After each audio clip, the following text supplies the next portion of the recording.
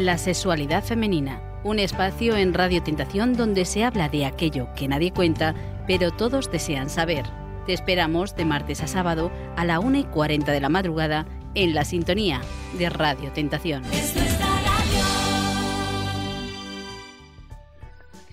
Bienvenidos y bienvenidas a la sexualidad femenina que estamos de vuelta. Clemons Lunis y Elena Trujillo, psicoanalistas de Grupo Cero. Muy buenas, ¿qué tal? ¿Cómo estamos hoy? Bienvenidas, bienvenidos. ¿Qué? Bueno, parece que estoy en el karaoke, pero es que quiero anunciarles el tema de hoy, porque, porque, porque sí, porque sí, porque yo quiero publicitarlo. Yo quiero decir en voz alta con quién estoy, a quién amo, quién es mi pareja, decirlo, porque, oye, pasa algo en las relaciones cuando se publicita, cuando lo hacemos oficial cuando ya no, no, estamos juntos porque nos pasamos bien, sino porque ya hemos dicho estamos juntos formalmente y se tiene que enterar todo el mundo. ¿Pasa algo? Y claro que pasa. Que deja de ser. ¿Qué pasa, Es tía? que eh, no sé lo que pasa, porque puede pasar cualquier cosa, pero transforma la relación. Es decir, hacer pública una relación. Hay diferentes situaciones. Ah, está salir en las revistas del corazón, en las redes sociales. Bueno, hay unos que publicitan mucho su amor, así su relación, como si fuese algún alguna medalla que han conseguido, que alguien los quiera o que ellos eh, puedan. Deberían pensar muy mal de sí mismos. Yo no sé por qué la gente hace tanta publicidad ahí en Facebook, en las redes ahí sobre Por- sus porque no se dan relaciones. cuenta que tienen otras personas que también los aman. Puede ser que también es eso. Porque imagínate que yo pongo de manifiesto mi pareja y todas las personas que me aman, que me admiran, que me desean, se van a quedar chafados. Entonces, ¿cómo Bueno, no, no te creas, ¿eh? que tampoco todos ambicionan ser tu pareja, Elena, no te pases. Bueno, pero un amor platónico. Pero es cierto que moviliza, porque uno tiene, los demás tienen una opinión sobre uno y cuando uno revela su relación amorosa, pues eh, esas relaciones se transforman.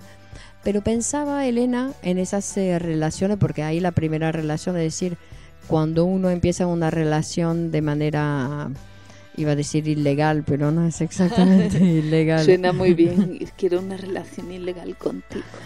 Claro, porque es una relación, digamos, cuando ilícita, ¿no? Se dice, una relación ilícita, es decir, una relación que no está socialmente eh, bien vista, vamos a decir, como una mujer que tiene un amante, un hombre que tiene una un amante, eh, son relaciones ilícitas. Y decimos que para la mujer tener una relación eh, a escondidas, Oh, yo quiero una. una relación a escondidas, una relación que podemos llamar prohibida, Oh, aunque no lo sea, lo es socialmente, pero prohibida realmente no lo es. Pero digamos que la, la, la mantiene en secreto, porque está mal visto socialmente y la mantiene en secreto, y que eso eh, anima mucho al deseo. Es decir, que mantenerla así prohibida y vivirla en la interés, prohibición. vi- interesante diciendo, mira, Claro, que es muy Claro. es muy excitante para Te la quiero mujer. preguntar una cosa. Eh, ¿Las mujeres o los hombres ambicionamos establecer relaciones duraderas, serias, estables, confortables, eh, como el molde calcado de otras relaciones? Yo supongo que sí, yo supongo que sí, porque aunque somos raros los seres humanos, porque vemos que en la realidad hay muy pocas relaciones de pareja que funcionan. Perdone, pero cuando entramos que entramos en la vida de una familia y que vemos cómo el hombre y la mujer o cómo eh, la pareja se relaciona, en general no es algo muy muy envidioso, es decir, que lo vemos y no nos da muchas ganas de Follan menos que un casado. pero no solamente por su vida, lo que podemos imaginar de su vida sexual, porque en general tampoco es lo que sabemos eh, de, de la vida del otro o de la vida de las parejas, sino que em, de poder pensar, cuando vemos las parejas, no Tienen muchos compromisos. tienen muchos conflictos y tienen muchos conflictos y muchas dificultades, se critican del espera, uno por- al otro, aunque se lleven bien, se digamos que se aceptan es esa esa relación donde uno se mete con el otro y, y vemos que la relación o como una institución del casamiento, ¿no? el, la- el- el querer casarse es como una ambición que tiene mucha gente, pero que en el fondo, que cuando vemos cómo funciona, no es para realmente desear eso. Yo deseo otra cosa que esa pareja ahí institucionalizada, que es muy poco atractiva, y sin embargo deseamos eso. ¿Por qué? No sé, porque parece que es como haber cumplido, entrar en la normalidad. Porque el ser humano quiere colocarse en, algún lugar de la normalidad para... Porque como se siente tan raro, porque cada ser humano es tan complejo que no se entiende. Entonces cuando hace una cosa normalita que se parece a la vida de todo el mundo, dice, por lo menos he podido casarme como todo el mundo. Aunque tampoco es que me apetecía mucho casarme, ni vivir en pareja, ni formar una familia, pero Estamos muy perdidos, ¿no? estamos confusos, estamos confusos porque no conseguimos despegarnos de esos modelos y que esa necesidad de ser normal o de entrar en la que no es ser normal, casarse para nada es ser normal. Es decir, que es ser como todo el mundo, pero como vemos, todo el mundo no es normal. Hay muy poca gente normal, es decir, que pueda fabricar su propia vida, que eso sería la normalidad. Bueno, incluso la normalidad es algo que no genera mucho deseo, porque es algo que es, que es alguien que se adapta a un molde determinado. Las personas más anormales, porque por ejemplo Menasa es una persona anormal, Pero, y, se pinta 10 cuadros al día. Bueno, Eh, inhabitual, pero él también se presenta como una persona muy normal, es decir, con su capacidad de producción, con su formación, con todo lo que ha podido hacer hasta ahora, lo que él hace es dentro de la normalidad, según la vida que ha mm, vivido, es decir, que si está rodeado de mujeres por la vida que ha tenido y que sigue teniendo. Entonces, en, en eso es normal. ¿Quién es Menasa? Eh, Menasa es un... Uf, eso es difícil. Eh, Menasa es un... ¿Lo hacemos público? Lo hacemos público, nuestra relación con Menasa, dices.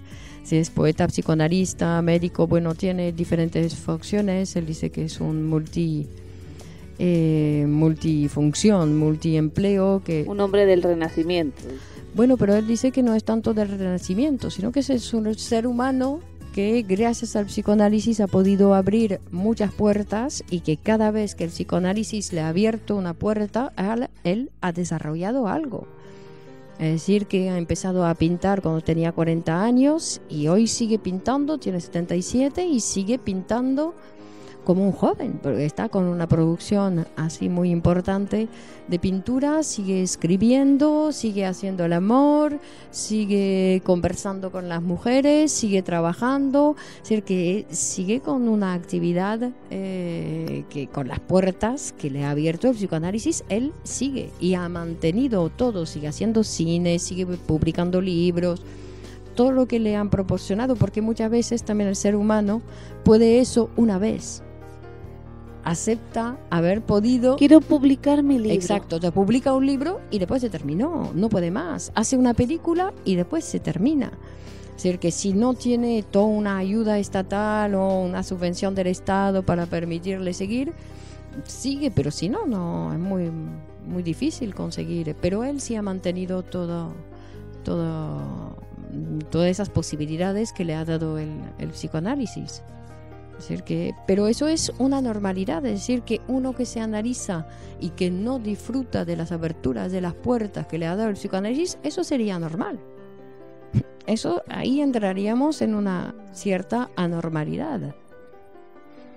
¿No? Por eso que la normalidad habría no es lo que hace la mayoría de la gente. Lo que hace la mayoría de la gente es lo que hace la mayoría, pero no entra y vivimos, no vivimos en un mundo muy normal. ¿No? No sé, ustedes miran la televisión también, ¿no? No vivimos en un mundo normal. Entonces, querer hacer como todo el mundo para ser normal no es el camino. Pero volvamos a las eh, relaciones de pareja eh, secretas. revelar, secretas. revelar. ¿La revelamos? ¿De, de cuál? Las secretas. Las secretas. No, pero nos preguntábamos. Hay personas, bueno, mujeres, que se sienten mal por ocultarle algo a sus maridos. Claro, bueno, pero por ocultarle, peor todavía, Mujeres que por que- ocultarle algo a la mamá. Es decir, que al marido hay relaciones que no tiene por qué él saber. Cada uno tiene su sexualidad, cada uno tiene su vida y no todo el mundo tiene que saberlo. Es decir, que hay personas que es preferible que no sepan. Entonces, claro, dice, ah, pero no quiero mentir. Pero no es mentir, es no informar. Hay una educación incorrecta, porque pasar al estado de casado o de pareja se confunde con ser de la propiedad del otro. Bueno, pero eso sí, que es una... Porque uno, ¿cómo va a sentirse mal porque haya aspectos de tu vida que el otro no conozca? ¿Cómo puede uno sentirse mal por tener otras relaciones que tu pareja no conozca? Son ilícitas en el sentido, son malvadas, quieres hacer daño a tu marido, que eres un asesino. No, por tener una otra vida, otras vidas que él no comparte, como si él no la tuviera. Entonces, claro, hay una mala educación en esas mujeres que se sienten culpables. Bueno, pero sin hablar de infidelidad, porque ahí entramos en otra cosa. Pero incluso, incluso jovencitos que empiezan a salir, que empiezan a tener una relación, que están bien los dos, y enseguida hacen público esa relación a la familia, a todos los amigos, y de repente eso es, son una cosa de, de todos. Son novios.